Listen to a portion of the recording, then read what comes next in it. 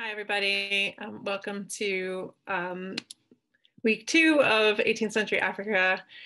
Um, today, we will once again have um, two panels, um, one from 5 to 6.30 UK time, uh, looking at environments, um, and then one immediately following, looking at uh, memory.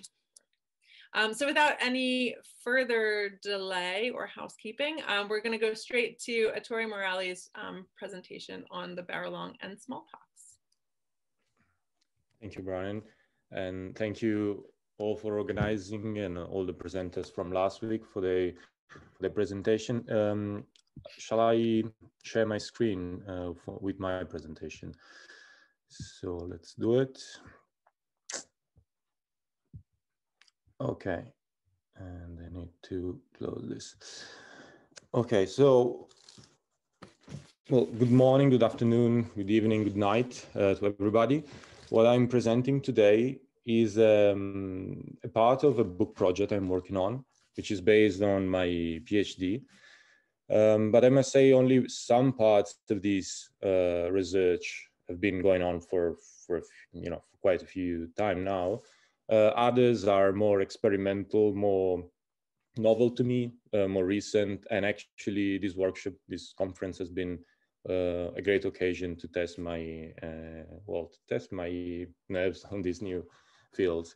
Um, so to, to be very brief, um, I've been working on the Barolong as part of uh, my, my research for, for the PhD for years and I've never worked on um, medical history or the history of medicine or the history of epidemics uh, that intensively before uh, a few months ago. So this is for me an occasion to, uh, um, you know, to uh, bring out some hypotheses and test some, uh, test some research questions.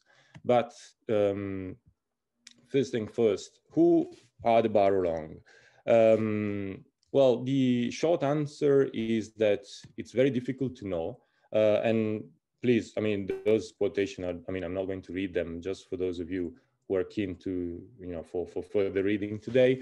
Um, but for just for a brief historiographical uh, introduction, um, well, if we look at books that have been written on the subject, it's very difficult to understand what we are talking about it's a population, it's a people, it's a tribe or a state or a kingdom of the interior of Southern Africa.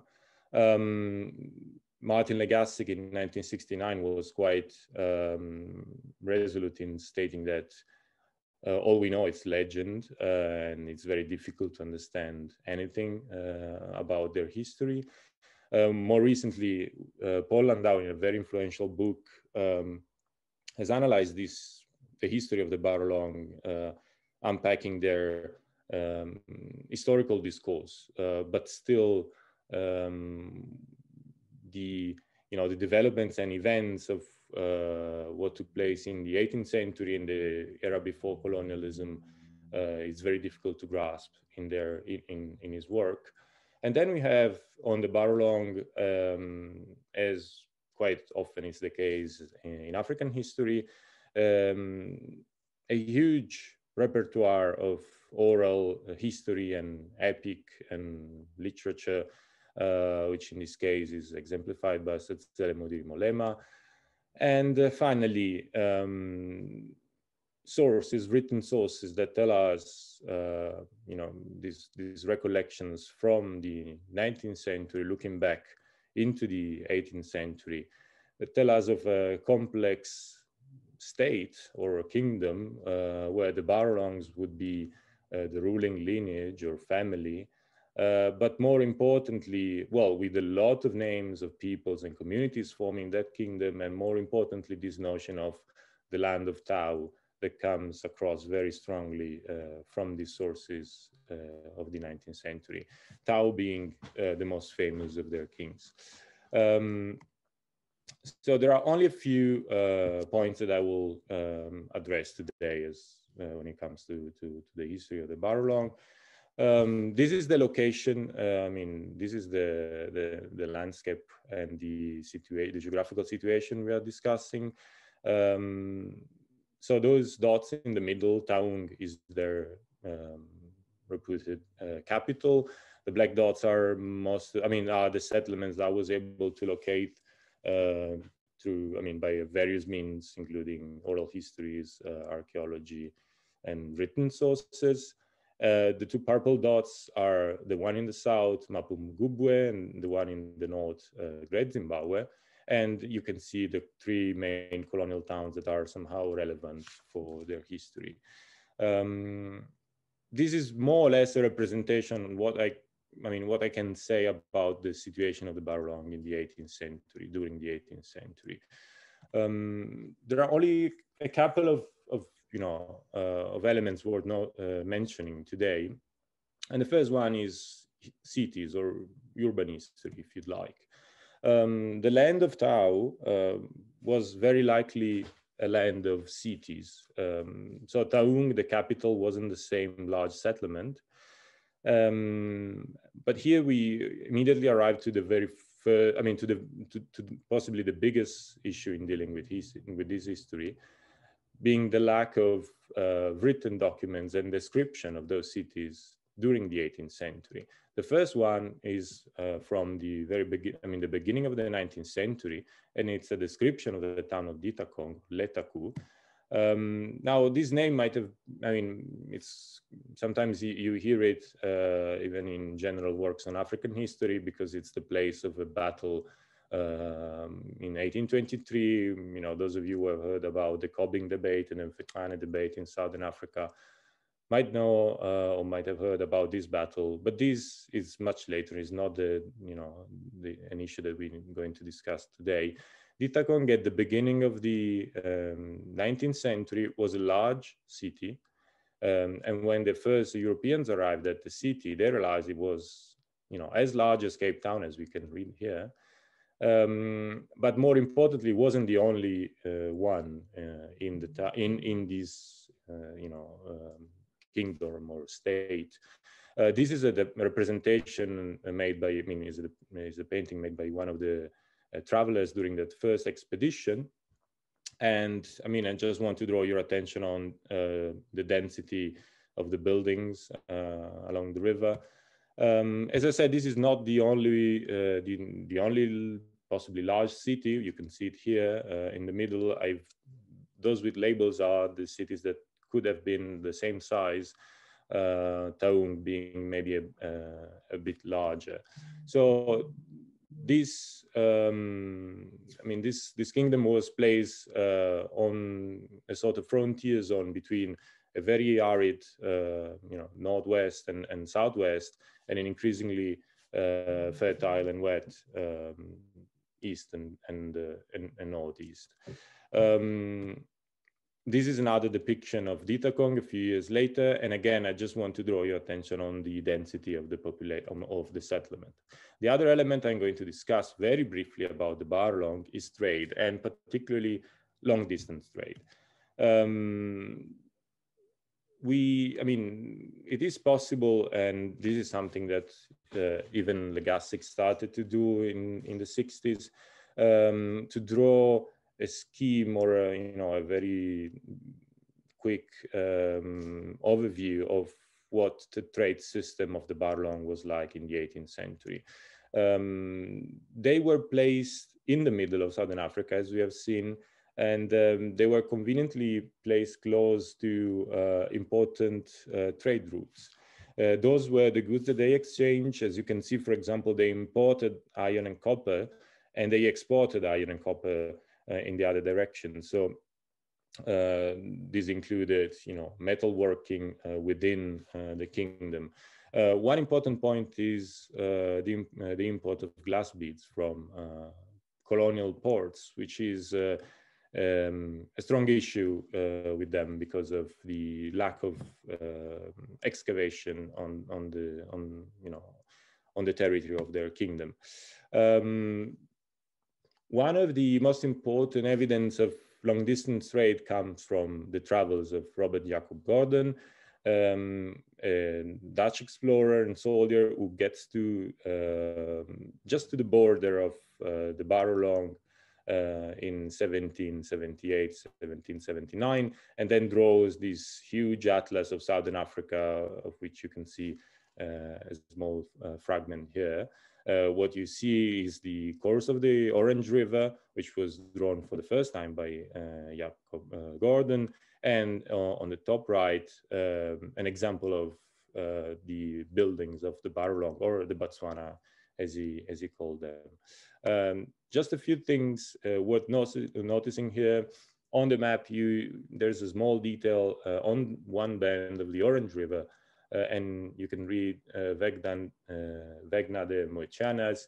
He was able to pin down on the map where a route or a road from the Orange River started and um, you know went to the north. Um, this allows us to elaborate on the existence of trading communities um, on this frontier uh, of this river frontier uh, that um, where you know the trade that uh, Gordon described was taking place, trade in iron from uh, and metals from the north, cattle from the south, uh, somehow glass beads possibly across the Kalahari. Uh, so we are talking about long distance trade, and this is just um, in a brief, I mean, an outline I made uh, putting together the evidence and the more hypothetical trade routes. Um, those dots, uh, I mean, the, the, the, arrows, the dotted arrows are those uh, about which I don't have strong evidence. Uh, and this is based uh, on several published research, I mean, several published literature and new research done by me. But so there is evidence of trade routes crossing the Kalahari and going north. And uh, what is uh, lacking is the evidence of a trade route connecting the land of Tau or the Barolong uh, to Delagoa in, uh, in the east. Um, of course, one issue when we discuss um, trade is, uh, you know, distance and, and, time. And this just for example, to give an example, uh, in the case of Robert Jacob Gordon, who traveled to the to the frontier of this uh, of this kingdom, um, of course, not necessarily the fastest uh, pace and the you know the the straightest route, but it, it took some time to uh, to get from Cape Town to uh, the land of Tau or to the very border of the land of Tau uh, in the 18th century. Um, and this I mean, this basically the the lack of of, of proper evidence um, and of well of uh, written description and of uh, recent archaeological works on on the land of the Barolong, uh, and my frustration with these uh, difficulties led me to explore a, a hint that I found uh, a few years ago while working on this subject. And it's the uh, occurrence of a smallpox epidemic in this area uh, in the 18th century. Now, uh, very briefly, uh, smallpox has been a major theme for 18th century history of the Cape Colony. Um, smallpox was a very uh, widespread disease. Um, we're talking about variola major, who had a very high mortality. Uh, these are the main uh, features. Of course, important to note to, to know is that by the end of the century, we have the introduction of vaccine by Jenner, well, the discovery of vaccines, but already in the 18th century, variolation as inoculation was uh, spreading uh, across, I mean, across Europe, was already in use in Africa and the Ottoman Empire, though. Um, and this is the most recent piece of research that I've been doing. So, um, as I said, um, while epidemics of smallpox have been studied in, in the Cape Colony, um, I've been trying to put them together uh, with the neighboring regions. So, as I showed in the first map, uh, Luanda and Mozambique would be my, and Delagoa would be my, you know, places of interest. And um, now I'm reasoning on this apparent uh, correlation, chronological correlations of epidemics uh, taking place in Luanda and in Cape Town uh, in clusters of years that uh, might be uh, revealing of something, or some patterns of, you know, communications Uh, Mozambique is absent for the moment from the source that I've uh, consulted, but in the middle you can see um, five years of uh, smallpox epidemics in the land of Barolong with the death of three important men who were uh, the regent and their, the successor to the kingdom. Um, so when, uh, when mentioning that uh, smallpox has been a an important um, theme in, in colonial history. Um, we always look at these three epidemics, 1713, 1755, 1767, with the impact they had on the colonial society and also on the Khoi and Khoisan population of the neighboring uh, Cape province. Uh, it's always difficult to assess and evaluate the impact on the African population. This has been hugely debated. Um, and it is even more difficult to assess the impact on uh, the Barolong uh, for various reasons. You know, as I said, the lack of written sources, uh, the funeral rites, and, and how uh, scarce burials are in, uh, in this region. So also the difficulty to undertake archaeological research aimed at, you know, um, finding out evidence of epidemics. Um, so we are left with this description coming from the very uh, moment Gordon was on the Orange River, mentioning that smallpox was raging uh, in the north. And then uh, years later, uh, when one of the first um, travelers arrived in the region, uh, mentioning how many people uh, can, I mean, how many people carry the signs of having had smallpox. Um, and now the question that is uh, the crucial one for me is understanding if these epidemics uh, in the Barolong Kingdom uh, arrive from the south as it is always implied and sometimes explicitly mentioned in, in, the literature and in the sources or from the north. And this is the group of source, these are the group of sources that I found mentioning explicitly that this epidemic, this smallpox epidemic came from the north. Um, and this is particularly tantalizing because of the lack of, of documents and, and evidence about connections uh, from those parts of Africa, especially the north, the northeast and, and east to the Lagoa. Uh, whereas these kind of sources point out that uh, this might have been the case. And again, even more interestingly, um, together will, or maybe even shortly after the epidemics, the knowledge of inoculation was transmitted from the north uh, and north northeast. This, of course, uh, come into uh, question the problem of who brought that inoculation. Was that brought by the Portuguese uh, in the Lagoa or Mozambique? And we don't know, and it's uh, at the moment very difficult to uh, to make an hypothesis. But so drawing to the conclusion.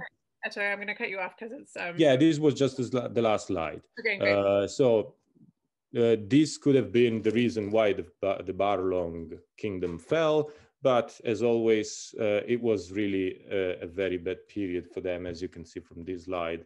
So uh, without uh, further evidence, this remains, you know, as an hypothesis. Uh, and yeah, as I said, I welcome all the comments and the questions and the criticism you have. Thank you. Okay, wonderful. All right, so thank you everybody and especially to Bronwen for organizing this wonderful conference. I'd like to begin my presentation today by explaining how I came to my study of 18th century Gold Coast by way primarily of my interest in the 19th century. That is specifically colonial rule and practices of colonial statecraft. I do not want to dwell on 19th century too long, but let me start sharing my screen. So here we go. Let's see if you can see that. Okay. So this is, this is um, over here pointing to the area of the Gold Coast. So what's present day Southern Ghana, and this is excluding the Asante Kingdom um, in the interior of the country. And just the only thing I wanna note before talking about this area in the 18th century is that the Gold Coast formed a somewhat unusual story when it comes to colonialism in Africa, because unlike in most other places, the colonial state was not a dispossessing force in the Southern Gold Coast. as most of us in this call probably know, empires tended to dispossess African people in many ways, whether through wars of conquest, dispossession through purchase, like the island of Lagos, um, and centrally, usually through the arguments that because the land was the private property of nobody, it was wasteland or what Europeans called terra nullius, that the land could be put to better use by European governments who would divide it up, commercialize it, and develop it through private competition. These are, for example, the legal claims that the British used to seize lands elsewhere, such as in colonial Kenya, South Africa, the Americas, and Australia. The British tried to do this in the Gold Coast as well, but in this situation, they were barred from proceeding. UK Parliament and the Queen got involved and said, actually, we've reviewed the evidence and clearly all land in the Gold Coast, every square yard is private property. This is the private property of the people. The colonial state has no claim here. And so for the rest of colonial rule in Ghana, the colonial government would have to manufacture a state without owning the land. They would have to rent, they would have to purchase. They began from a place of total austerity. Um, and when I began my dissertation research, I thought this was remarkable. I thought this totally set the Gold Coast apart as a study. And so um, a few years ago, I was having a conversation with Gareth Austin when I was at the University of Cambridge. And I asked him how he thought this could have taken place. And, and, and very interestingly, he said that he didn't think it had anything to do with the land or how the land was owned, but that this was a testimony to the activism by Gold Coast politicians at the time who had managed to rally support for their cause. And, and I do think it's true that to an extent, Gold Coast activists were extraordinarily organized, but that didn't strike me, and it still doesn't strike me as a sufficient explanation. Because among the other things that were remarkable about the Gold Coast at this time period, colonial state builders, when they entered this territory in the late 19th century, so around the 1870s, 1880s, they produced a number of documents and reports detailing how amazingly sophisticated Gold Coast land ownership was. There are reports that just say every square yard of land has its owner.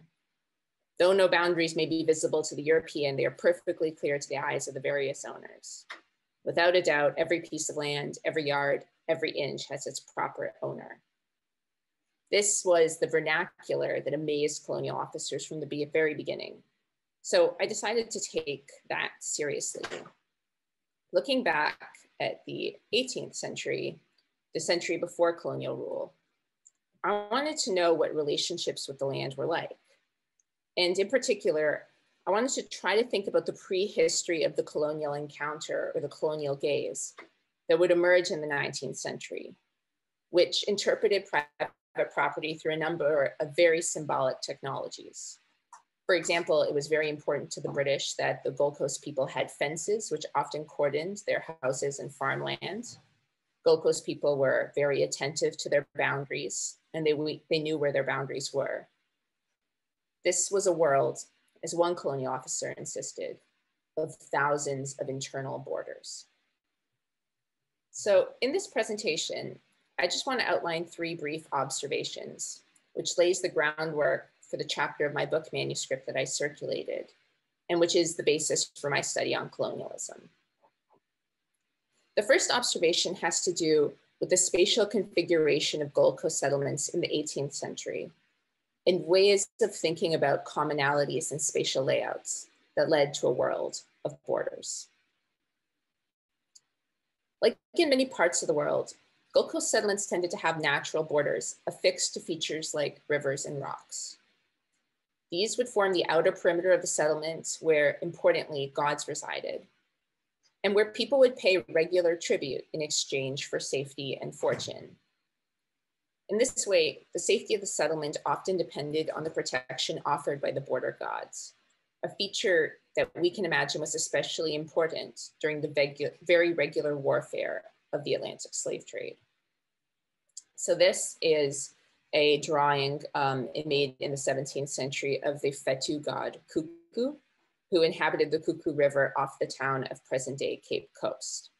And Kuku was capable, even though belonging to the river, of materializing in many different parts of the town. So this is a picture of him materializing in the marketplace slash meeting place that was in the center of Cape Coast. Coast settlements tended to have main marketplaces like this. In Akan Twi, this was called the Ashiaye. Shia meaning to meet, and Ye meaning place, so meeting place. And all citizens arriving at the market in the 17th and 18th centuries would have had to leave their weapons outside the market. So oftentimes there was a ring of weapons encircling the entry to the marketplace. Other spatial sensibilities bonding Gold Coast settlements included a sacred rock located on the shore, a sacred tree that stood in the center of the marketplace, and you can see that in this drawing here behind Kuku. Um, and this place was meant precisely for communing with spirits and offering tributes the distribution of these place gods, um, which in Akan are called the Abosom and in Ga the Wudzi, created their own spatial logic and a common way of understanding the town center vis-a-vis the borders. Very importantly, border gods were connected the town center to the borderlands because they could materialize in places like the Ashiaye. So branching from this spatial understanding, I suggest in my work that fences in the Gold Coast were the materialization of another form of sacred border. I, I don't know when fences first emerged in the Gold Coast. This is an engraving um, produced in 1602 of, of, of coastal Gold Coast. So um, Europeans suggest that fences were there from the very beginning. And certainly some of the archeological studies that we have by people like Gérard Chouin and Christopher DeCorse have talked about the long history of earthworks in the area of Ghana. And I would say the fences have generally been interpreted for defensive reasons, like other walled towns that we know of in West Africa. But what a reading of European sources and Gold Coast oral traditions shows me, at least, is that fences were also seen as sacred barriers that depended on blessings by the gods. Many European records reflect on the fact that offerings and tribute would be placed outside the fences or gates for the gods. Spirits were said to wander through the streets and up to the fences at night to receive this tribute. And spiritual amulets were often strung on the fences, or in the cases of some European forts, built directly into their walls or foundations.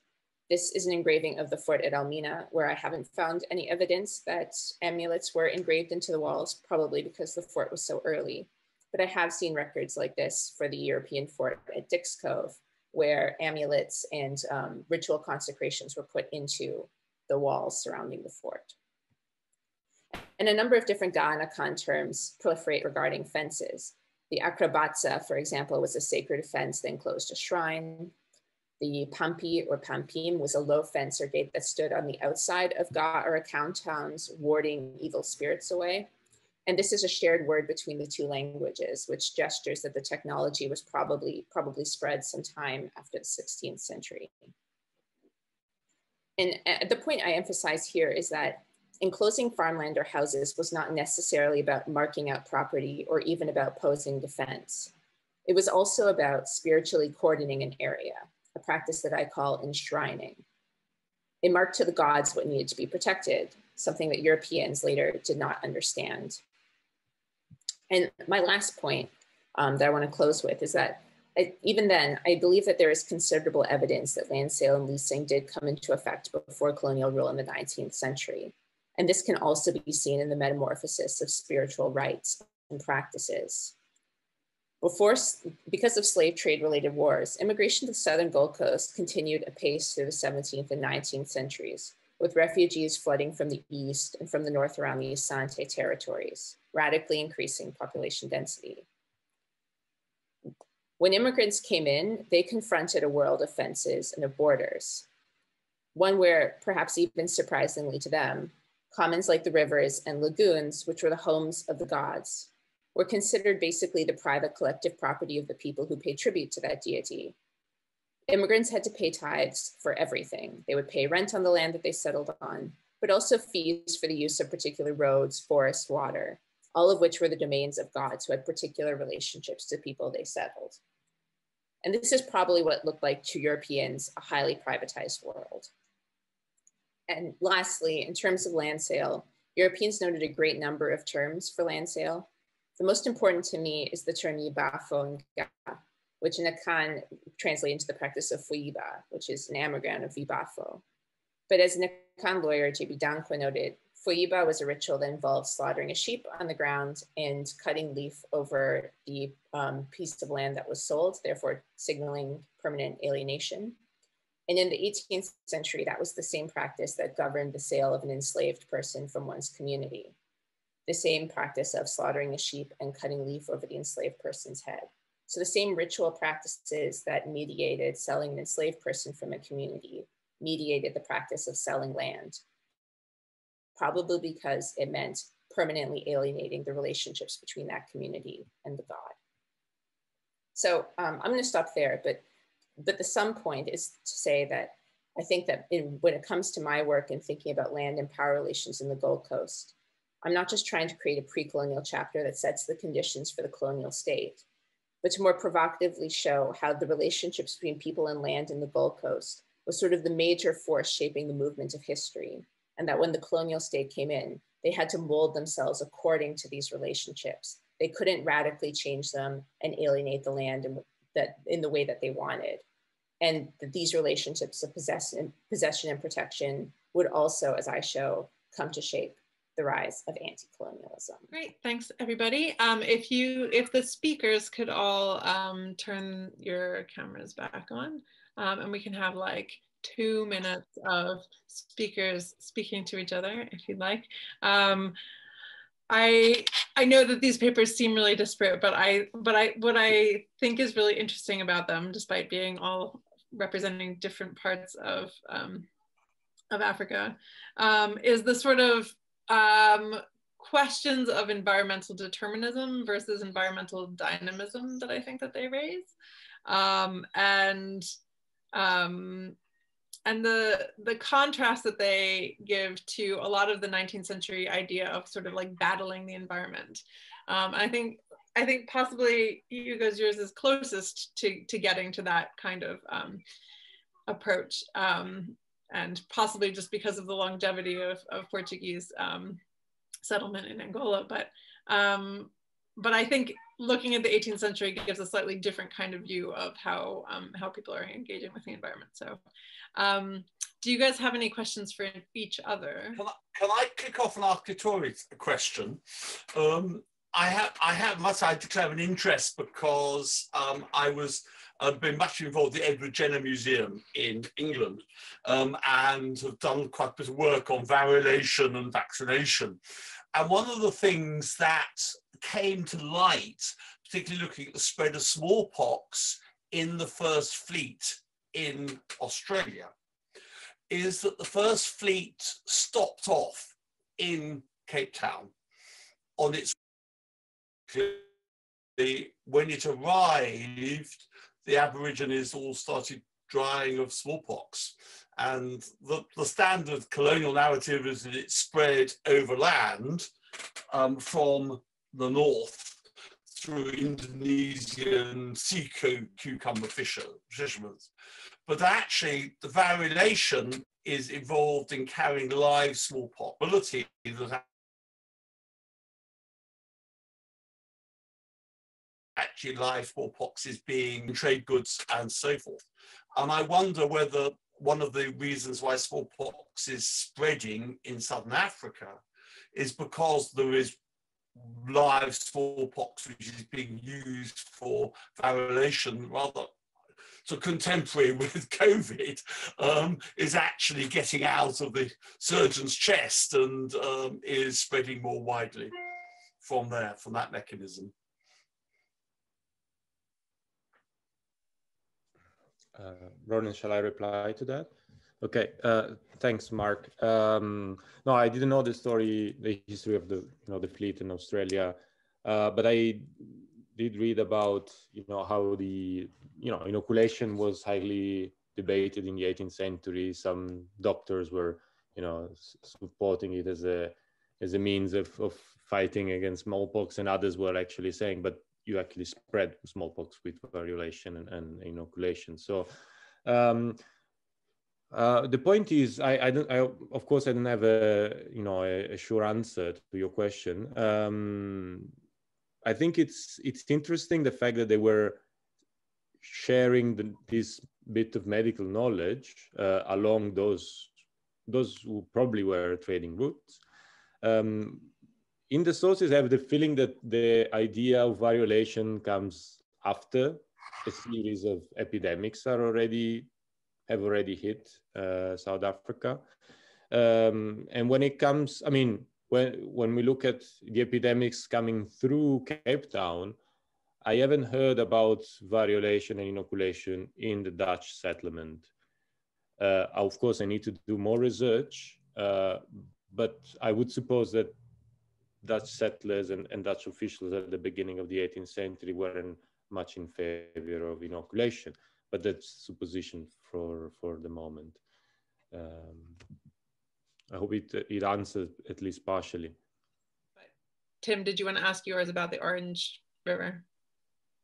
Uh, if I can get organized. There we go. Hi, uh, thank you very much. Uh, they were all uh, terrific papers, really enjoyed them. But I had a question for Ettore. Um, how, how, much uh, evidence do you have or you've uncovered about uh, riverine trade on the Orange River and, and following that thought? Um, since I believe the Orange River goes east and west, mm -hmm. and it, smallpox potentially could have gone on via boat. Mm-hmm. How does that uh, influence or reflect in your work on the, the north-south uh, idea? Hmm. Yeah, thanks. Thanks for the question, Tim. Um, and I think so. I think Kenosi's question about the smallpox and Swana might be relevant. Kanosi, do you want to come in, or do you want me to read it? Oh, oh yes, I just want to come in. yes, I just want to know uh, a little bit of the uh, maybe the uh, like here. Every disease has got a, its own interpretation and really the cause of it. So I just want to know if you really come out with a uh, really find out maybe the indigenous interpretation of the cause of the smallpox and also how maybe the, the local medicine man will try to cure the the the the, uh, the, the smallpox. Yeah. Thanks, Kenosi. So, well, answering both questions together, Brown, is that right? Um, well, there, there is evidence of, of trade along the Orange River uh, coming from Robert Jacob Gordon, Jacob Wikar, another explorer. Uh, it's, it's very patchy during the first half of the 18th century, but when you, you get to that two, three years in the 70, 1770s, those travel accounts are, you know, a treasure trove of, of, information about trade. And you have the feeling that, you know, people were coming from across the Kalahari. Uh, mm-hmm. The point is, um, yeah, the Orange River was definitely a route you could travel in a very arid environment.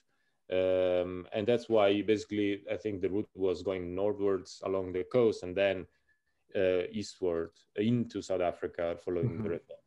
Um, the southern, the so-called Southern Highveld, so between the Vaal River and the Orange River, what is today the, the Orange Free State, uh, was virtually unknown until the 18, mid 1820s, 1830s. Okay. So we, we have no idea, I mean, as far as descriptions go of travel accounts as, as of trade, but we do know i mean it's it's it's a work in progress but you know you, you understand that people were coming when you, when you look at the eastern cape but people were coming from the north so there were interactions with the interior and they knew that you know different people speaking Setswana or different languages lived in the interior mm. um, so i have no evidence of smallpox in the southern highveld so that would be you know the orange free state lesotho area uh, mm-hmm. for that reason and and yeah and maybe uh, then answering to to kenosi um, well, I must say, all the sources I've been working on at the moment are, uh, well, colonial sources, and they always assume that smallpox comes from uh, the Europeans. So they, uh, most of them aren't really interested in, uh, you know, in uh, in the expl- like the, the African explanation of smallpox. They simply bypass the African element, and they they are looking for, you know, either Cape Town or you know Mozambique, where are the Portuguese? You know that's where smallpox or inoculation come. But then when it's what's what is interesting, uh, you know, separately, um, I mean, for, for my own research, I've been working on um, the concept of cutting and you know to cut and to you know to create scars in in one's body and i've been thinking and thinking about possible overlappings between these two concepts in Sesotho and Setswana. Um, so things that, and I, and I mean, I have nothing to, to propose at the moment, so that would be really uh, highly hypothetical. Uh, but I'm sure that it, it had, a, you know, an explanation and um, it, it might not have been, you know, what we call inoculation and variolation might have been a practice that extended beyond the the, the disease itself. Uh, that might have been, you know, some a medical practice that was performed for other reasons, not only for for smallpox. Um, I don't know if that rings a bell or it sounds completely outlandish. Yeah, just also really to follow up a little bit uh, on the question was uh, during your uh, your presentation, you studied much more like the people from Luanda. As far, I don't know whether is there any uh, maybe uh, uh, is there any any form of smallpoxes around around Tswana-speaking country ethnic groups such as but Batlaping or something like that. And also, have you really tried to trace it as far as because they've they've moved up as far as Matsiloje next to Francistown, as far as as Mau. I don't know whether you've really explored, explored those areas or just we just like just in the in the the down area. Mm. Well, no, thanks. Uh, yeah, I think the Batlaping were affected by smallpox, uh, definitely, as part of the Barolong State Kingdom Confederation. Um, and I know that, I mean, the Barolong in the oral histories they mentioned, they traveled as far as uh, Namibia. They fought and traded with the Overero in Namibia. Um, and I don't have like, I don't have actually any evidence uh, of a direct connection between the Barolong and uh, the people of Angola. So that's something I totally, you know, in the you know in the dark. Um, but thank you for your questions. That's definitely the direction I'm trying to, you know, to understand better. Oh, okay, thanks. Yeah. Thank you. Um, we have a few for um, Sarah relating to different um, different influences on property regimes. Um, so, um, Tim, do you want to ask yours quickly, and then and then Paul?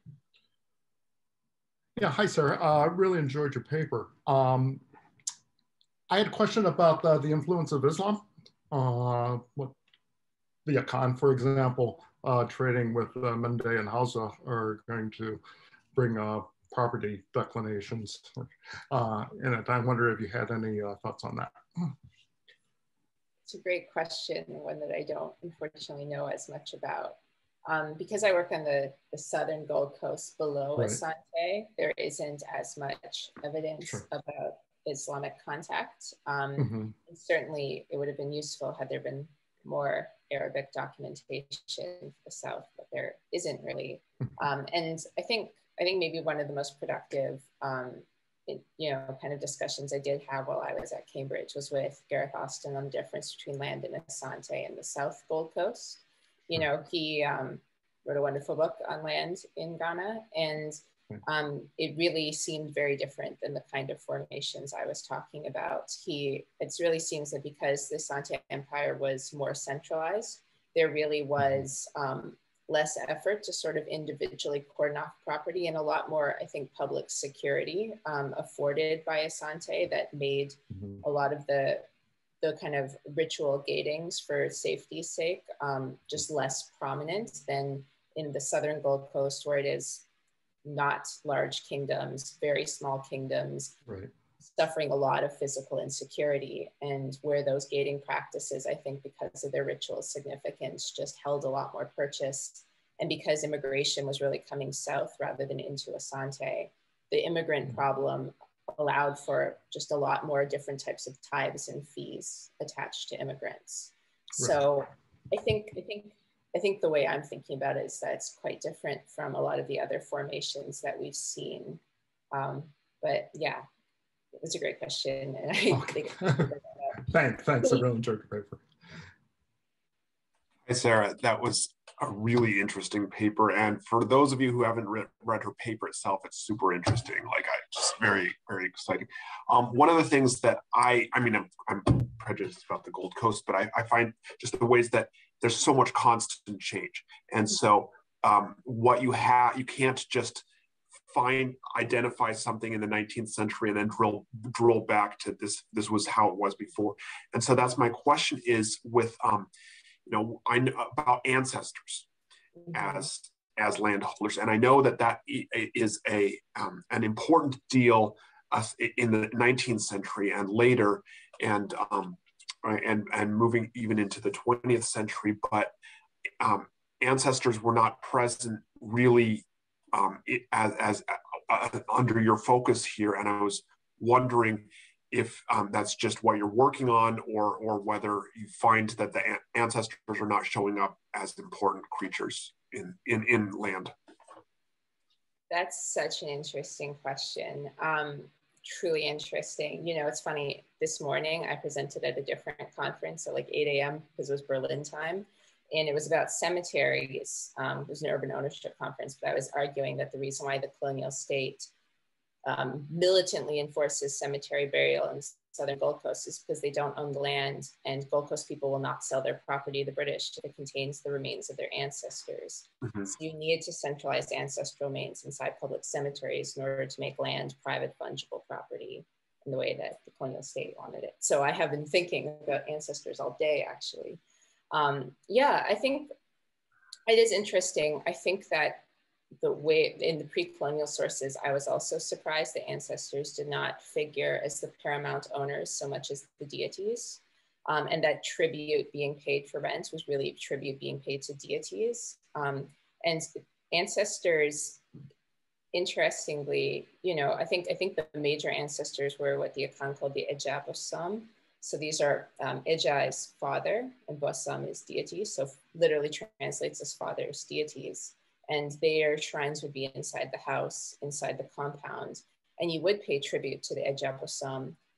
I think one interesting thing about just how much war affected the southern Gold Coast, perhaps more than Asante, is that people's houses were ransacked all the time. And I have a lot mm. of records of how people would try and take the Ejabosum with them. They would bury them in places and try to come back for them. And um, basically, there was a kind of a constant disruption to the ways in which the ancestors created protection. And I don't know if that's necessarily an explanation as to why the land deities um, are more important than ancestors at that time in terms of mediating land sale and land rent but I think it does affect it, like the instability of the house and the household possessions and the household shrines is certainly a factor. And I think the other thing is that when immigration is more fresh, the deities who allowed you to settle in that land are very, very important. Um, and then sort of later, the first ancestors who are the ones who entreated with the deities become pretty much as important as those deities. But I don't think that at a time of fresh immigration, that's the case. So when we think about the 18th or 17th century, I mean, people would have moved maybe within that 100 years or maybe just slightly earlier. And so the deities of the, the lagoons and the forests and stuff, I think, are the most important and therefore become the owners of the land. Um, but that's a really good question because especially, yeah, right, like in the 19th and 20th century, I mean, people really talk about in terms of ancestors, though not as much after cemeteries. the That's, that's, that's, really interesting. Yeah, that is the constant change there. All right. Thank you. Yeah, that's a wonderful question. But um, thank you, everybody. Um, and um, a big um, virtual round of applause. Um, and um, we will move swiftly on um, to our panel on memory, um, starting with Anne Haour. Hello, everybody. Thank you. Thanks for all the papers. Um, here is mine. Okay, so hello, everybody. Thank you for being here tonight. And I'm aware we only have 10 minutes. And I want to first of all say that this is very much a collaborative paper. Um, it's co-authored with a number of people, and at least one of them is in the audience, so I'm delighted um, about that. So, our work relates to a part of West Africa that uh, currently lies totally outside of any of the 18th century sources. Very little was known about it. And we're right at the northernmost part of the Republic of Benin and along the Niger River. And between 2011 and 2015, uh, a large team of us were working in that area funded by the European Research Council. So as I mentioned, we have very few or no historical sources for the area. And what we do have is very contradictory. You've got a complete paradox insofar as the area is hazily described as quite important and full of these medieval empires and trade connections in the medieval period. And then by the time the Europeans have direct experience of it, it is seen as quite a no man's land, quite dangerous and remote. Now, the fact that the record is patchy and contradictory is, of course, an issue that is shared with many other regions of the world. So we felt that uh, what we learned from this might be applicable to other areas. And what we did was essentially deploy a whole set of different methods linking archaeology, ethnography, architecture, and I can't cover the whole thing. I did want to say that uh, in the company of historians, I, I, do want to clarify that we normally also do painstaking work on very detailed bits of data and, you know, we individually examined 42,000 potsherds. But today, um, tonight, we're just going for the big ideas and the rather speculative things, trying to think about what was happening in Dendi in the 18th century. So that was just by way of caveat. So we worked as a team over a period of five years. And over that time, in a combination of oral and archaeological data, we tried to find not just traces of regionally significant exports, such as jasper, horses, cotton, textiles, um, or unfortunately enslaved people, but also to track the transmission of cultural practices and knowledge, um, that is to say, technical know-how. So in our inquiries with present day informants, we covered traditions of migration, links to past political entities, the role of specialist craftspeople such as potters and blacksmiths. So between 2011 and 2013, we carried that kind of ethnographic work out and also archaeological work with extensive surveys across the area, which is about 100 kilometers by 30. We excavated small test pits to evaluate the stratigraphic depth at some sites, and we undertook more extensive excavations at some places. The picture on the middle here is, is one of them. And we identified several hundred sites, among which an impressive series of large settlement mounds which dotted the whole valley. By 2014, our fourth field season, it became clear that we needed to make some adjustments. Uh, these large settlement mounds, impressive and informative as they may be, were all medieval and apparently abandoned around the 14th century. On the side of the ethnographic inquiries, the historical narrative only really went back into the middle of the 19th century. So we were a tiny bit stuck for a project that had intended to bridge ethnographic and archaeological data and approaches, we found ourselves with this temporal gap, which we needed to explain and hopefully fill. So to that end, in the penultimate year of fieldwork, uh, we decided to undertake a series of surveys and test pits in present day towns and villages. And that work was led by Ali Livingstone Smith, who's uh, with us today. And this involved combining inquiries in the ground with the analysis of satellite imagery. And it was our informants who told us where the test pits should go. They pointed us to the earliest part of a village, and they were profoundly interested in the local history and keen to know more about it through archaeological means. And we also investigated some settlements which are long abandoned, and that's what I'm going to talk about in the remainder and the next slide. I have to say also that we made another important adjustment, which was on the ethnographic side, in terms of which crafts we studied. So initially, the focus had been on pottery, but actually, as it turned out, potting pretty much had died out in the region. But two other crafts, which really hadn't been on our radar at the beginning, emerged as being of utmost importance to our informants in Dendi. that is weaving and dyeing. And this is important because these turned out to be of major significance in tracking past connections across the wider area. That's explained in more detail in, in our written paper and the references therein. But I want to just introduce you to, to some of the sites that um, abandoned sites, which became quite interesting. And these are places that nobody really has published or had heard about. So it isn't anything that we knew about before we started our sustained engagement with the landscape of Dendi. And these groups are considered significant by historically minded people in Dendi. And it was a way for us to really look at the heritage from the soil up, to listen to what people were saying about what was important in terms of past um, history.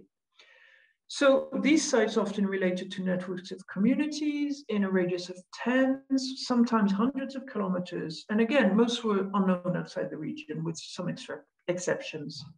Um, the three I'd like to just briefly run through today are Toroway, Katanga, and Norubangu. Toroway uh, was identified um, as an ancient village near the River Niger, and people told us it was a major port which um, owed its existence to specialist boatmen who had extremely large canoes and were able to convey across the river caravans, um, including, you know, of course, people, animals, and their goods. And um, this technology gave them supremacy over the local fishermen who had much smaller boats and enabled them to make a very tidy profit from um, trade crossing the area. Katanga on the other side of the river, today in the Republic of Niger, was mentioned in 14 villages, and most people presented it as a place that was originally inhabited by uh, Yoruba communities who were rich, um, engaged in trade, and operated Norubangu, the cowrie shell pond.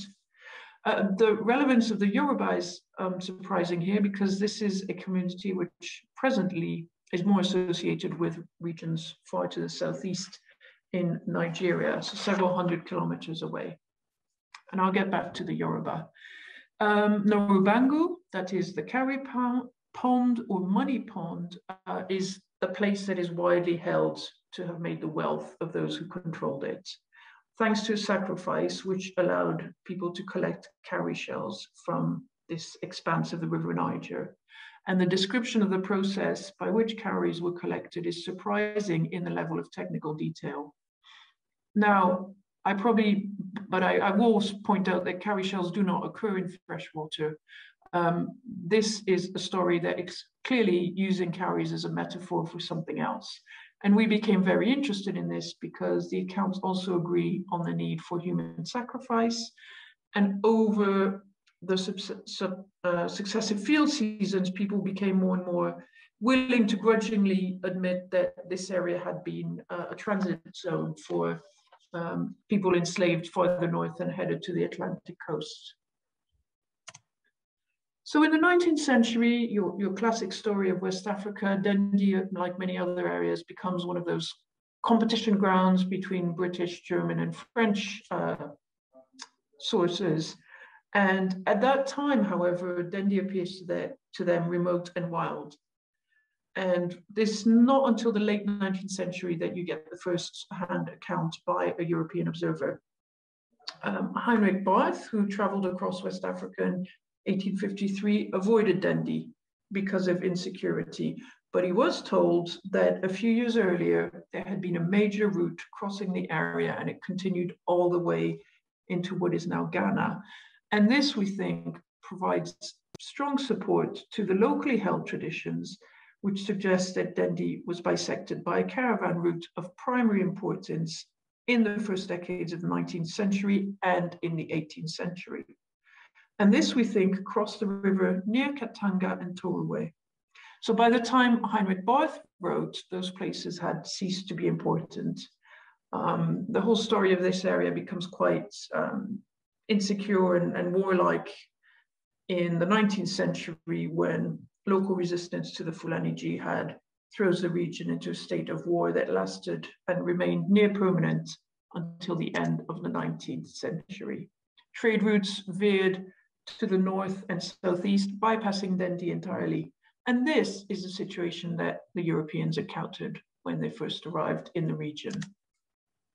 So we think that um, these accounts of the first Europeans, combined with the lack of interest for the history of local populations, contributed to erasing the prominent economic role played by Dendi in the 18th century and before. And in fact, if you look at it, there has been um, extensive work on the link between caravan routes and uh, family names. And we know that the Dendi language was and still is spoken in trade settlements um, in the south of Benin and even into Ghana. So all of this suggests to us the involvement of Dendi merchants along those roads prior to the development of later networks. And we think that the communities associated with the sites of Katanga, Norubangu, and Torue were the main operating agents of these spheres. Now, again, these are not sites that anybody really had heard of outside the immediate area. And if you look at this really lovely 1722 map, there is no mention of any place in Dendi. And it does like it does look like it was not significant enough to attract international notice. People were getting their information from the Atlantic coastline and from North Africa at this stage. So in comparison to regions to the east, and in particular the Hausa cities, which are very clearly identified on this map, Dendi is really invisible. So we do think that despite the importance of this trade route, it was a minor player in the 17th and 18th centuries. Was probably weak in demographic and economic terms, but there was a major crossing point on the Niger River, probably associated with mar marketplaces on either side of the river all of this in a really restricted area and nothing um, of the scale of what was happening to the south or to the east. And we also think that in the late 18th century, this area was reintegrated by some new actors who were economic entrepreneurs coming from farther north, uh, following the idea of the frontier areas pioneered by Igor Kopytoff all of this 17th, 18th century activity, we think, was gradually forgotten because of the 19th century wars that devastated the region and caused the collapse of former trade routes. So the story here, this is my final slide. For us, um, it, it was really interesting that our research plan had been informed by the sources that we had access to, which were in the published record. And then once we based ourselves in Dendi, we started conversing with local history holders, and a whole set of new sites and new ideas and new crafts came to prominence and brought, brought to our attention indicate to us that this region was actually once widely connected, probably largely through the trade um, in enslaved people and heading all the way down to the Atlantic shoreline we'll hear more about the Yoruba, for instance, tomorrow, but the, the link through this site of Katanga and Norubangu and the various traditions surrounding the use of the cowrie pond do strongly suggest uh, the exploitation of, of humans as an economic commodity. So in conclusion, uh, it seems to us that locally held knowledge preserves some evidence of the situation in the 18th century. And our comparative analysis of the traditions held in a string of villages along the Niger River, combined with archaeological approaches to building historical narratives, and there's a lot of excellent scholarship here, um, has brought to light some really crucial aspects of the 18th century, which otherwise lie forgotten. Thank you very much. Thank you, Anne. Um, and now up is uh, Daniel. All right, let me just uh, share my screen quickly.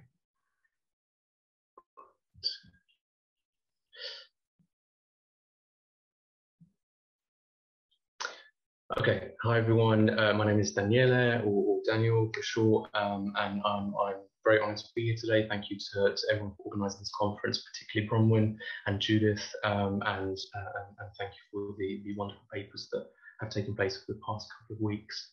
Um, I'll be focusing on literature today, uh, and in particular the kind of genres of life writing, autobiography, and, and the memoir, uh, to use a term that, that echoes the title of this particular panel. Uh, the title of my paper is Thus I Came by My Name, A History of 18th Century African Life Writing through Broteer Furro's narrative of 1789. So born in the late 18th century, approximately around 1729 in modern day Ghana, Broteer Furro published his life story in 1789, creating one of the earliest examples of print life writing from an Africa born in West Africa. Across his life, Furro was abducted many times, and in the process of being enslaved, he was forced to move to Barbados and then to Rhode Island in, in what is now the United States, where he was coerced into changing his name to Venture Smith. In the last years of his life, he committed this story to print and published a narrative of the life and ventures of Venture, a native of Africa, related by himself. Um, and you can see the facsimile of that on, on the screens. The very title of the work places his Africanness at the forefront of his identity and his life writing. Yet the use of the name imposed upon him by white colonialists signals the way in which his existential freedoms as a writer and as an individual were often limited. This paper will examine how Furro explores his individual, familial, cultural, and continental identities through literature. Of particular interest is the way in which the text, divided into sections preceding and following his forced transatlantic movement, shifts from expressing a localized identity based around his birthplace in Dukandara um, uh, in, in uh, West Africa referring to the general area as, as Guinea, to a pan-continental reframe as an African person. It is, it is his forced separation from the continent that emphasizes his sense of self as belonging to, originating from Africa or West Africa in particular. This paper also seeks to draw attention to the auto-ethnographic elements of his narrative, including the detailed observations of the coast of Guinea. His text presents brilliant, meticulous accounts of the history and the culture of West Africa by a West African writer. It's important here to consider the ways in which Furro reclaims agency in contrast to the colonialist travel writing about Africa published coterminously. This paper therefore attempts to understand his work in conjunction with theories such as that of counter travel, um, coined by Holland and Huggan in 1998, so in order to analyze how 18th century Africa was represented textually. While James O. Horton has explored the ways in which, quote, the story of Venture Smith is an important part of American history, as is perhaps indeed the case, I would add that the story of Broteer Furro is also an important part of West African history and the wider history of the world from the 18th century onwards. Um, so to give a sense of the, the kinds of ways in which he's framing his life writing, um, the narrative proper begins unequivocally with the first person pronoun, through which Furro asserts his identity according to the conventions of autobiographic writing. As such, the text helps to commence the tradition of West African and African American life writing in print. And it begins with Furro's self defined introduction, the screen. I was born in Dukandara in Guinea about the year 1729. My father's name was Sam Furro, Prince of the tribe of Dukandara. The agency here is placed squarely on the author's perspective and his personal experiences, making it clear to the reader that this is the voice of Furro as an individual committed to text. Noticeably conspicuous by its absence in the opening, however, is his name, uh, is his name, any version of it. Sentences later, instead, Furro notes how his parents gave him his name using the third person. And I think that the delayed relaying of this information presents a slight omission which foreshadows his forced name change later in life. While this, to a certain, expe- a certain extent, speaks to the doubleness within every autobiographic, um, autobiographic writing, the othering of an historical being the living writing self. Uh, it also reveals the specific conditions based on his transnational and transatlantic life and the violence which British colonialism and transatlantic enslavement uh, imposed on his identity. One of the things that I'm attempting to do elsewhere in my paper and to give uh, an introductory sense of it is the way in which um, uh, Furro divides his identity between that which is localized entirely to his sense of belonging to Dukandara, to an identity that gives a sense of belonging to the African continent as a whole. Interestingly, this sense of identity change happens on the cusp between chapters one and chapter two. As I already said, um, this is uh, a dividing point, point in the text um, during which uh, Furro represents his moment of, of forced migration uh, across the Atlantic. The noun Africa appears only on two pages of the narrative. One of these pages is this very page here between the chapters, which is split halfway um, uh, between the ending of one, the commencement of the other. Within it, he describes having been forced to sail from the coast of Africa to Barbados, and that in the middle passage from Africa, 60 enslaved people had died. Furro does not use the word Africa again um, elsewhere in his text, and he only uses the adjective African once more at the end of the work, uh, an example to which I will um, hopefully return to. The structural split, therefore, of the page into two halves on the limen between chapter one and chapter two, the limen between Dukandara, the Atlantic, and the Americas, gives a sense of how the notion of Africa as a place and a place of identification emerges here through the liminal experience and the violence of the middle passage. Um, elsewhere in my research, I'm thinking about the ways in which Furro's writing offers a powerful instance of counter travel, um, which, according to Holland and, and Huggan, as you can see on the screens, is a way for writers to locate themselves in opposition to conventional modes of travel.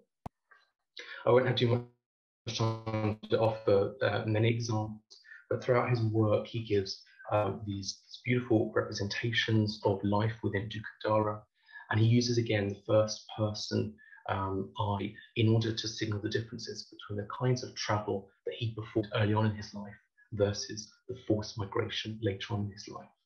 Um, he talks about uh, various social conventions, including polygamy, uh, which, as I, I uh, as I expand upon in my paper, is represented without any of the kind of moralizing language that we see within colonialist writing for the same period. Similarly, I'm also interested in thinking about the ways in which he repeats the term rich to counteract the kinds of European travel logs which uh, create economic binaries between the so-called global north and the so-called global, south. Uh, global south. Um,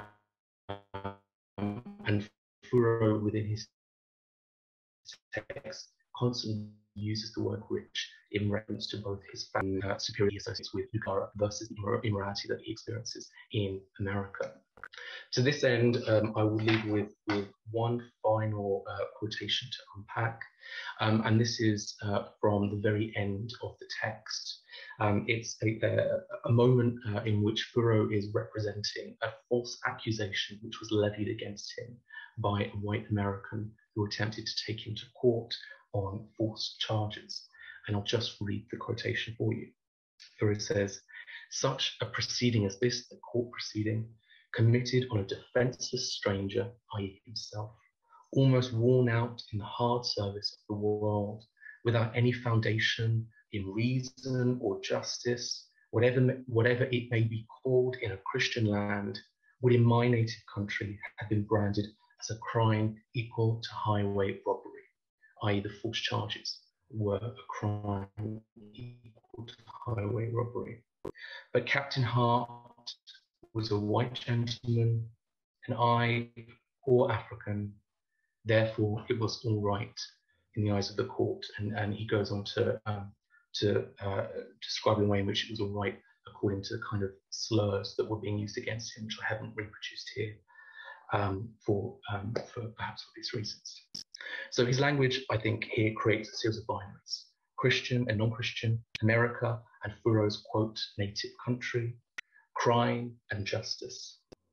And these binaries reverse the colonial binaries forged in much Western literature, which dehumanizes, which dehumanized and continues to dehumanize so-called uh, quote unquote native um, spaces as the antithesis of positively depicted white Europeans. Furro upends this racist myth completely. His dualistic language is echo-forming. The depiction of an economically rich Dukandara at the start of the text, which I was alluding to before, is used as the countering mirror to a morally impoverished and a morally corrupt America on the last two pages of his text. In other words, the United States is framed as other in Furro's life writing. Interestingly, it is the very discourse of white Americans, the discourse which is quoted in italics, um, which is employed to create violence and prejudice, including the slur that I haven't quoted here. It is through discourse, or at least beginning with it, that white Americans construct the racist, uh, the racist binary categories of, quote, rich white gentlemen and, quote, poor African. So the racist and capitalist binaries at work there.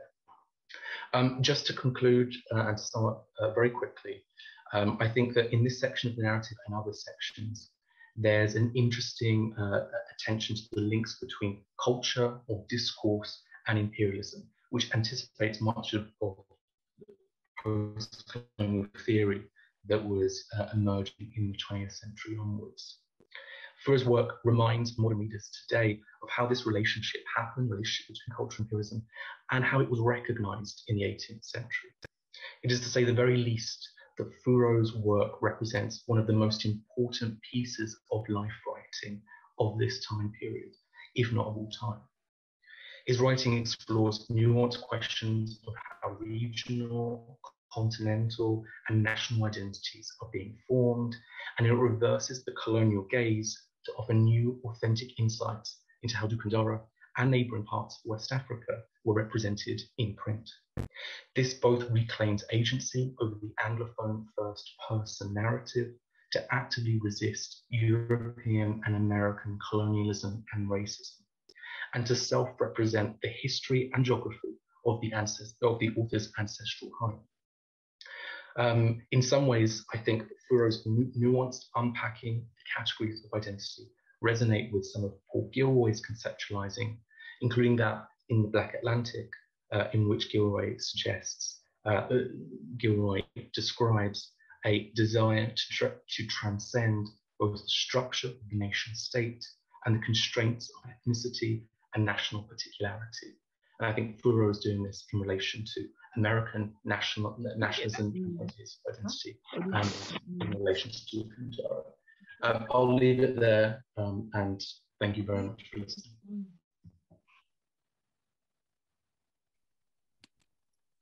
Thank you. And now um, next up is Antonia. Thank you very much, Bronwen. Thank you very much, everybody, for all of your fantastic papers. It's really, really exciting to be able to share my paper with you as this will be um, introducing my research for a PhD starting at University College London in September. And it is titled The Grand Detour. James Bruce as an agent of Ethiopian antiquarianism. So in Oxford's Bodleian Library, there is an Ethiopian manuscript that has the potential to overturn commonly held conceptions of the Grand Tour, placing Africa and African rulers firmly in the picture. When you open the manuscript, you come across the following words handwritten in cursive script across one of the first photo pages. And it reads from Ras Michael, governor of the province of Tigray in Abyssinia. Abyssinia is the historical term for the Ethiopian Empire, which is located in modern day Eritrea and Ethiopia.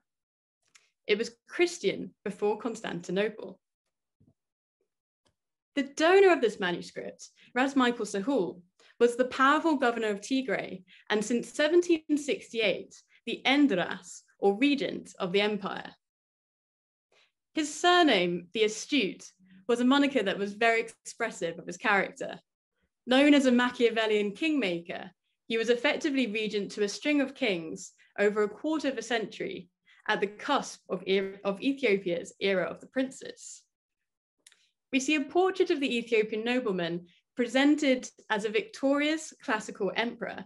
An image of his profile and also of the laurel wreath adorns two sides of a coin inscribed in Latin. The manuscript is a copy of the Kebra Nagast, a 14th century national Ethiopian saga that details how Ethiopia's first emperor, Menelik I, was born from an encounter between the biblical Queen of Sheba and King Solomon in Judea. The epic positions the Ethiopian kings and emperors as the direct heirs of the Solomonic dynasty, as the king of kings. It relates Menelik I's acquisition of a highly sacred object, the Ark of the Covenant, and its transportation from Israel with the aid of red-headed angels. So what do we know about the recipient of the Bodleian manuscript? We know that in the early 1770s, he was a courtier at the Ethiopian imperial court in Gondar, located in the Northern Highlands, which had been the seat of royal power since 1636. He could trace his lineage back to this 14th century Scottish warrior king, Robert the Bruce, and he was a member of a secret fraternal organization in Edinburgh, the Scottish Freemasons, which upheld the Ark of the Covenant as a divine Masonic structure. His grand tour of Europe was unlike the standard exercises of his peers, because in 1768, it detoured to Ethiopia.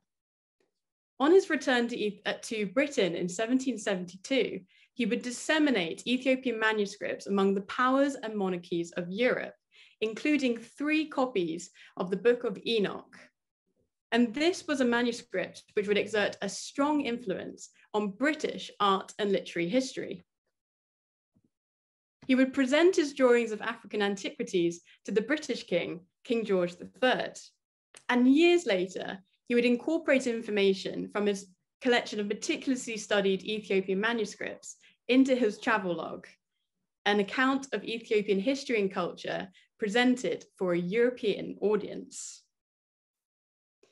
You don't immediately notice him among the gaggle of grand tourists in Johann Zoffany's group portrait, The Tribuna of the Uffizi. He stands at the very edge of the painting and directly meets our gaze. This towering red-haired figure is James Bruce of Kinnaird. Ras Michael and James Bruce had met at the Ethiopian imperial court in Gondar. The teenage emperor Tekle Haimanot II was on the throne, but the aging Ras Michael was said to be the real ruler of Ethiopia. And despite its constantly changing physical location throughout Ethiopia, the court had traditionally been a nexus of cultural interchange between Europeans and Ethiopians for centuries. According to David Perry, during the late Middle Ages, Ethiopian emperors saw Europe as a strange, distant land of myth and wonder, a place from which they could extract religious souvenirs to further their local political goals. They actively perpetuated the myth, which was initially a European invention, that the Ethiopian emperor was the legendary Christian king Prester John. So you see in letters to European monarchs that the from the king of Ethiopia that he offers his aid as Prester John as a Christian ally in the Crusades. European artists would be summoned to the Ethiopian court to create religious and royal artifacts that fuse together African and European styles and materials. However, by 1633, Ethiopia closed off to foreign influence. The attempt of the Portuguese Jesuits to convert the already Christian Ethiopians to Catholicism had been viewed by the 17th century emperor, Emperor Fasilides, as an attempt at proto-colonization. As a result, they were expelled from the country. In the 18th century, the Ethiopian landscape was dotted with the ruins of Jesuit churches as a material testament to this breaking down of relations. And for a century, the only European to set foot on Ethiopian soil had been the French apothecary, Dr. Charles Jacques Poncet. Resistance to foreign invasion was sustained throughout the early modern and modern periods. And it's often overlooked that Ethiopia was never colonized, despite um, a brief period under Mussolini in the 1930s. And studies relate little to the 18th century Ethiopian European encounter. A better picture, more fuller picture of Ethiopian European di diplomatic relations may provide insights into the ability of Ethiopian emperors to resist colonization so successfully. Arriving in a land hostile to Europeans, Bruce, Bruce apparently gifted his way through Ethiopia on the route to Gondar. It was his knowledge of medicine that gained him access to the courts, where he soon established the trust of the ruling family, becoming the lord of the bedchamber to the emperor. A Protestant, he bonded with the Itiga, the equivalent of the Queen Mother, over their shared distrust of Catholics. And with his red hair curled and perfumed in the Ethiopian fashion, he was a Balamal, a court favorite, and as a result, he gained a unique insight into 18th century Europe, the 18th century Ethiopian court. While at court, Bruce purchased and commissioned copies of Ethiopian manuscripts. It's possible that this gifted manuscripts in the Bodleian was a personalized gift to Bruce. The collection of Ethiopian artifacts that Bruce brought with him to Europe is a result of a shared Christian faith. Yet, Ras Michael's gift reveals the wider ramifications of his political astuteness. It appears that he shrewdly recruited the antiquarian impulses of the grand tourist Bruce. And back in Britain, Bruce would incorporate information from the Kebra Nagast and other manuscripts in his collection into his travelogue, titled Travels to Discover the Source of the Nile. Towards the end of the second volume, he includes a section, The Annals of Abyssinia, a summary of Ethiopian royal history from the 13th century to 1769. But he also includes an additional section, the cultivation of Michael's friendship, effectively writing Ras Michael into history. The portrait of Ras Michael in the guise of a victorious classical emperor adorns the front pages of Bruce's travelogue, his image converted into a European emblem of power. Early modern Ethiopian emperors would continuously change the location of their court to assert their power within a tumultuous political landscape. In a similar way, Ras Michael was making his presence known within the textual territory of a European travelogue. During his grand tour of Europe, Bruce had come across the 17th century publication titled A New History of Ethiopia. It's a foundational text for scholars of Ethiopian studies to this day and is the result of an exchange between a German scholar, Job Ludolf, and an Ethiopian monk, Abba Gregorius, at the ducal court of Ernest I in Gotha. As an agent of Ethiopian antiquarianism, Bruce had to negotiate between two cultures of knowledge, British and Ethiopian. The way that Bruce wrote his 1790 um, travelogue was unorthodox. 16 years after his visit to Ethiopia, Bruce sat down and recited an eyewitness account to his assistant, Benjamin Latrobe.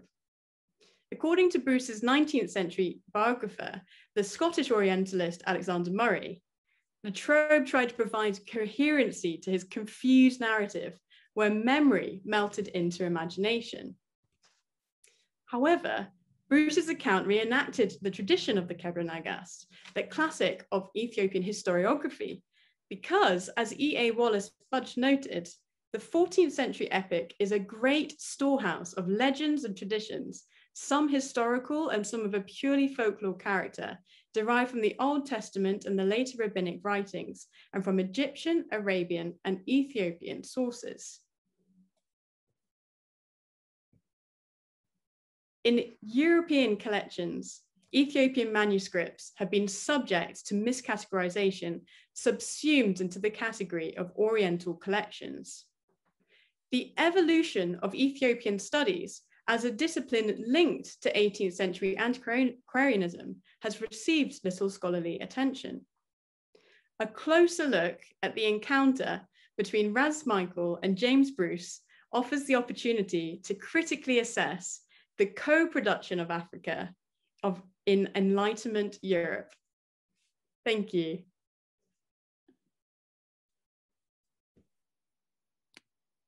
Thanks very much, all of the panelists. Um, if you don't mind um, turning your cameras back on, um, panelists, and we will, as, you, as usual, uh, allow some time for you guys to ask each other questions um, before we open it up um, to wider discussion. So yeah, I don't know if you guys have any questions for each other. Does anybody want to ask each other a question? before we go before we go on? Um, maybe just uh, a, a, really small question for um, for Antonio. Um, thank you for a fascinating paper, and, and the same goes to, to you, Anne, and to you, Natalia. Thank you for your, your, your brilliant papers. Um, Antonia, I was just interested in, in the, the, different genres that, that come together in your work and, and thinking about the way in which travel writing is able to offer some sort of counterpoint to, to literary traditions that have come before. But also, um, it was really interesting uh, hearing and, and, reading the moments where you think about the, the genre of the saga and that sense of a kind of a national epic and all of the traditions that went into constructing those particular Ethiopian sagas. Um, I'd wondered if there was anything you want to say about about the saga or, anything about the, the the, the merging together of different genres, creation of different genres during this time period.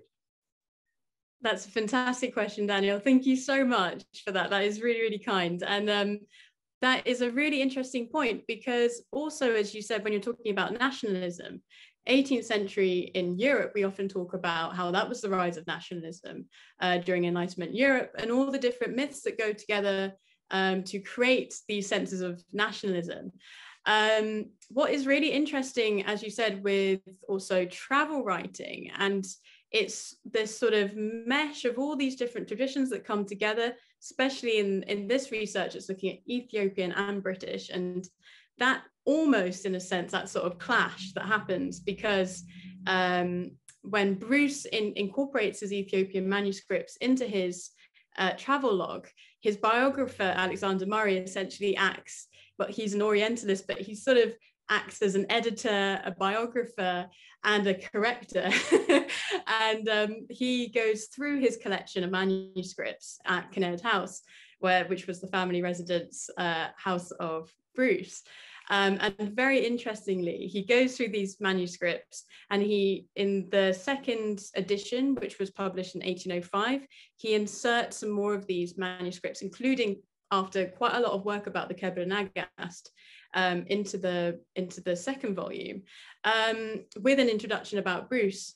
Um, and from what I can see, it was the, the Bruce family that asked him to be the biographer, which is also very interesting that they'd ask an Orientalist um, to, to put, you know, to study these manuscripts further and carry on his work.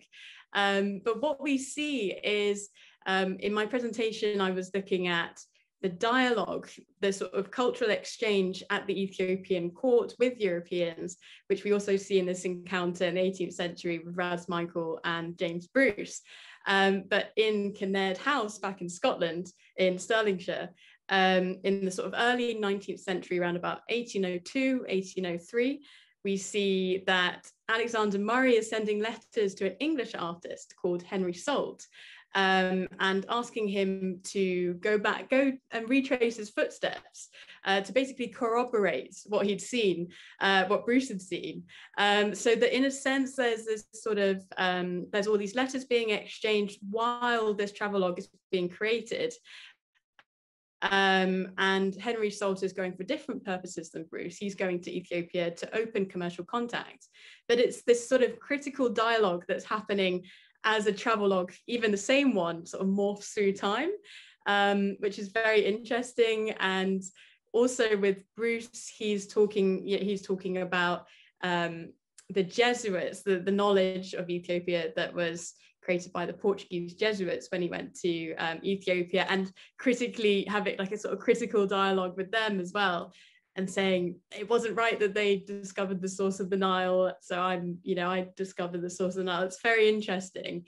Um, and with the Kebra Nagast, it's obviously interesting that that was a gifted manuscript. Um, and it's showing that that was a, a sense of the an image of Ethiopia that a ruler, somebody with interests um, as a ruler in Ethiopia, wanted to portray to Enlightenment Europe at this time also of emerging nationalism as well. It's really, really interesting. Thank you so much for bringing that up. Thank you.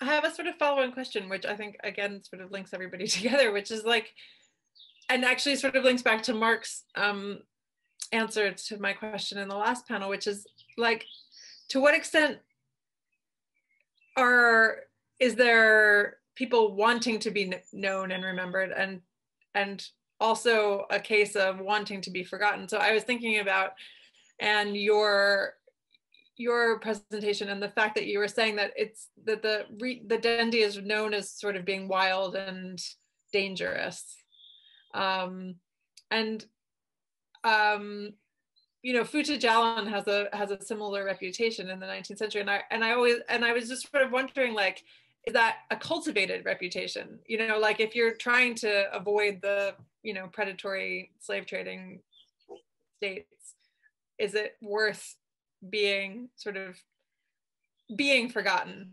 Um you know i mean obviously obviously in antonia's case you know and and uh, and i guess a bit in in daniela's case like there there's an attempt to be remembered but um but i i guess thinking about um what natalie was saying about sort of walling up the, the library so that they can't go in and they don't know about it um made me made me think about whether whether there's any sort of active role of forgetting happening in your case.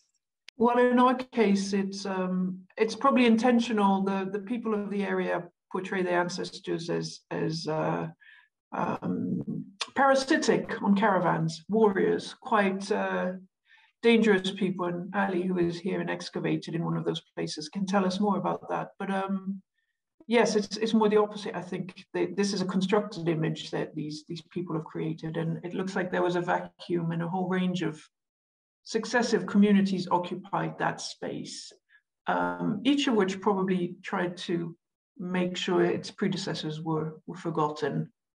That's how it's looking to us at this point in time, anyway.